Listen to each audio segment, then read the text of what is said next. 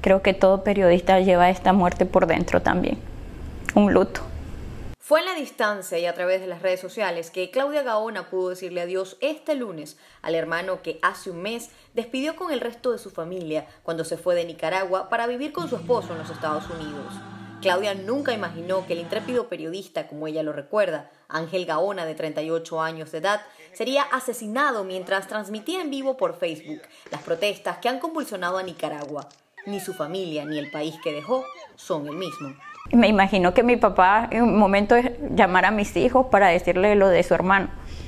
Y me llamó, me enteré de la noticia y quizás cuando ya agarré fuerza y, y querer averiguar por el video qué fue lo que pasó. Ha sido también por las redes sociales que Claudia y su familia conocieron nuevos detalles sobre la muerte del mayor de sus cuatro hermanos y padre de dos hijos. Un nuevo video que le llegó de forma anónima este martes y que muestra en medio de la confusión a una persona que corre sosteniendo un objeto en la mano en dirección contraria a la que cayó su hermano.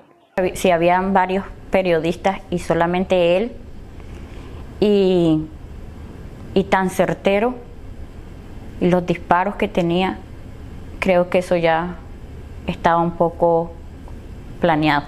En la familia Gaona aún queda el temor, en especial porque la esposa de Ángel también es periodista y por la que han iniciado una campaña de ayuda y recolección de fondos. Y mientras esperan un pronunciamiento oficial, el asesinato del periodista nicaragüense se suma al de al menos 27 personas que han perdido la vida durante los actos de represión. La muerte del periodista Ángel Gaona se da en momentos en que Washington ha decidido cancelar el estatus de protección temporal que amparaba alrededor de 2.500 nicaragüenses que se encuentran en suelo estadounidense.